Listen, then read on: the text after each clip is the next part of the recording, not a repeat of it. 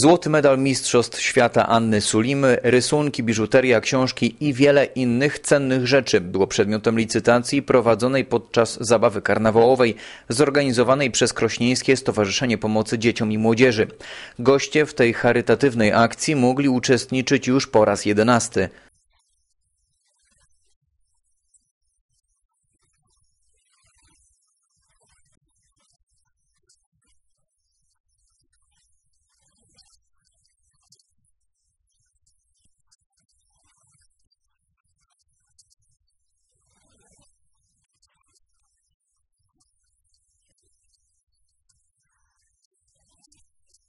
Od 2006 roku stowarzyszenie wydało w tym celu prawie 200 tysięcy złotych, a z pomocy skorzystało około 20 uczniów.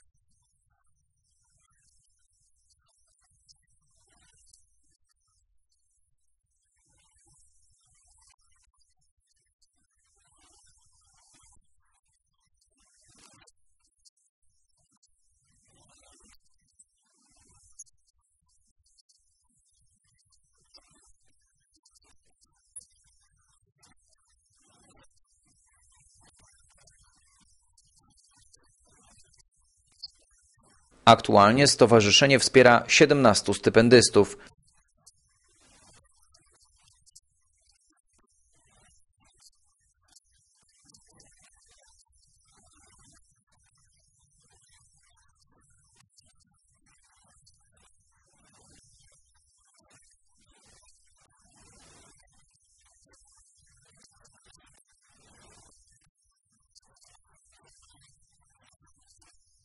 Kwota, którą miesięcznie otrzymuje stypendysta wynosi od 150 do 250 zł.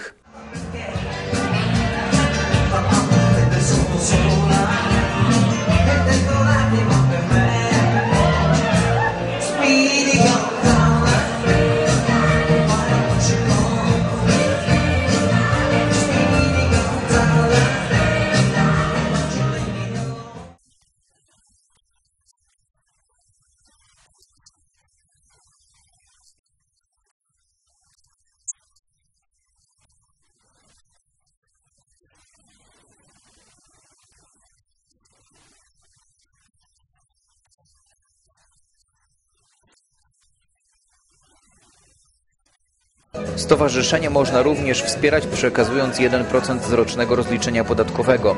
Z tej formy korzysta wiele osób z całego kraju, za co przedstawiciele stowarzyszenia bardzo dziękują.